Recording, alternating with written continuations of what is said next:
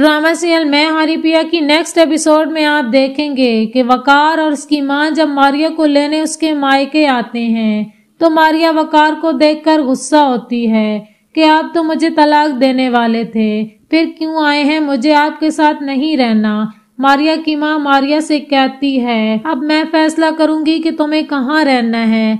मारिया गुस्से से अपने कमरे में चली जाती है। वकार मारिया की माँ से माफ़ी माँगता है। कि मुझसे गलती हो गई है। जो मैंने मारिया को ये सब कह दिया, आप मारिया को समझाएँ कि हमारे बच्चे दो हिस्सों में बट कर रह गए हैं और मैं अपने बच्चों को ऐसे नहीं देख सकता। इसलिए अपना दिल बड़ा करके मारिया को वापस घर ले जाने आया हूँ।